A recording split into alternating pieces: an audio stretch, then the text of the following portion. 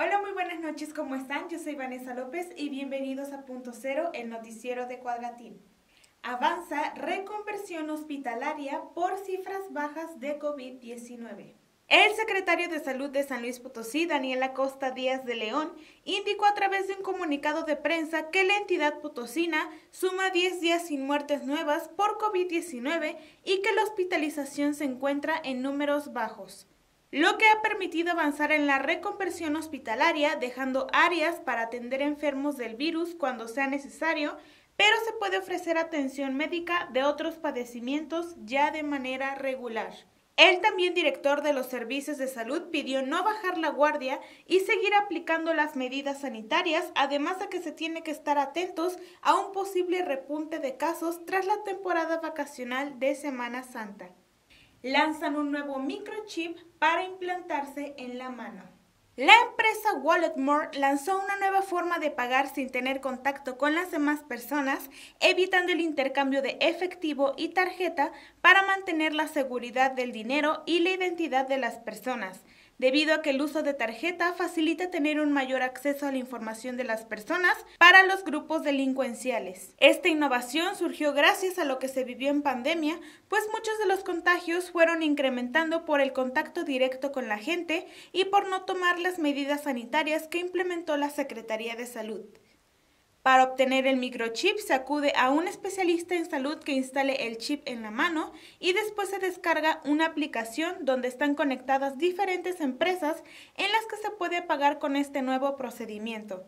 Su costo es de 299 dólares y funciona con tecnología NFC. Realizan acciones para preservar monumentos históricos de San Luis Potosí. La unidad de gestión del centro histórico sigue con acciones para preservar elementos arquitectónicos e históricos que se localizan en el primer cuadro de San Luis Potosí, en coordinación con el Instituto Nacional de Antropología e Historia.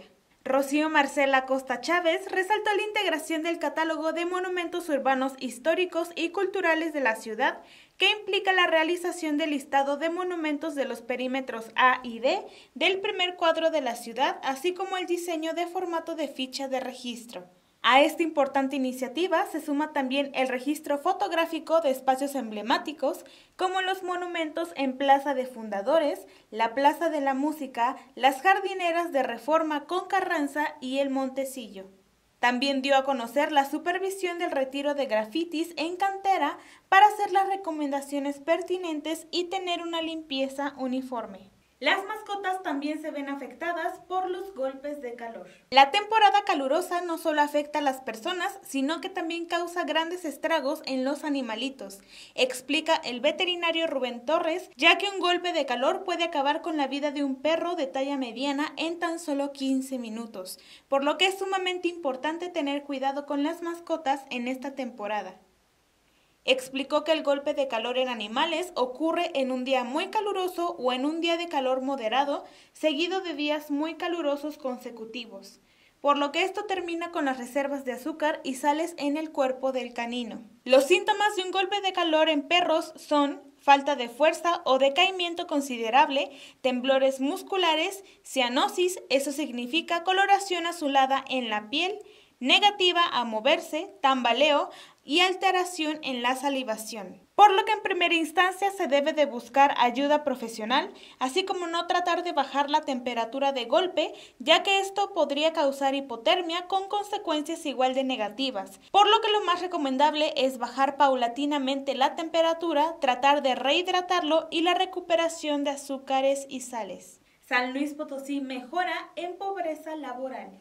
Uno de los mayores problemas que México se ha enfrentado en los últimos años ha sido el combate a la pobreza laboral, misma que se define como una situación en la que el ingreso laboral de un hogar no es suficiente como para alimentar a todos sus miembros, problema en el que se encuentra al menos el 40.3 de la población nacional, sin embargo, San Luis Potosí ha mejorado hasta el cierre del año 2021. México se encuentra por encima del 36.6% registrado al primer trimestre del 2020, menor tasa registrada desde el año 2008, aunque dentro de los datos se puede observar que San Luis Potosí junto con Zacatecas, Colima, Tamaulipas, Campeche, Baja California Sur y Nayarit, son los únicos estados que mejoraron su condición respecto a pobreza laboral registrada en 2020.